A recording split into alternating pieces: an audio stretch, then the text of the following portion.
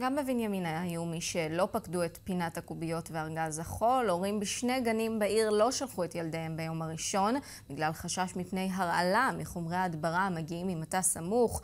הפרטים בכתבתה של אורית קרזבום.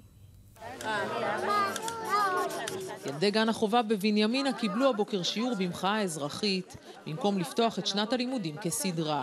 מי חושב שאפשר לשלוח ילד בגיל 3-4 לשחק בגן שהמתקנים שלו מרוססים בחומרי הדברה מסוכנים לחיים? קיום הצמוד של אה, גנים והמטע הרימונים שנמצא שם, שמרוסס באופן קבוע בחומרי הדברה.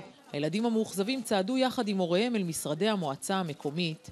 בניסיון לקבל תשובה מדוע נבנה הגן שלהם במיקום העלול לסכן את בריאותם. יש אה, חוזר של מנכ"ל משרד החינוך שאומר שלא יהיה אה, מוסד חינוכי בקרבה של מתחת ל-80, פחות מ-80 מטר מאזור מזהם. ואין ספק שמטע מרוסס זה אזור מזהם. בין הפתרונות שהציע המשרד להגנת הסביבה היו שרוול רוח וברזנט שימתח על הגדר.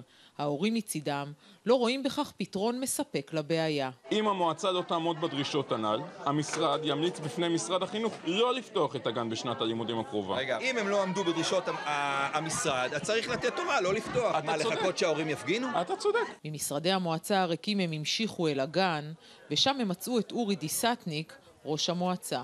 וכמו שנראה כרגע, אז יכול להיות שגם בימים הקרובים לא ירססו כאן בכלל, ונעשה כל מה שנדרש, ויעלה כמה שיעלה, כדי שהילדים ילמדו כאן בצורה בטוחה, בדיוק כמו בכל שאר המוסדות חינוך. אתם הורסים לילדים שלכם, לא, אולי הבריאות, ואני אומרת, הבריאות של הילדים שלך, אבל מה את נותנת לה לאכול? המודאגים מבין ההורים הופתעו למצוא בגן הילדים הורים שלא מוצאים סיבה לדאגה, והחלו את השנה כסדרה, סוג של שוברי שביתה.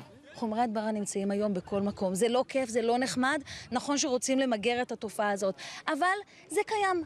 מטע הרימונים ימשיך להיות מרוסס בחומרים שוודאי לא יוסיפו לבריאותם של הילדים, ובינתיים, פתרון שיהיה מקובל על ההורים לא נראה באופק.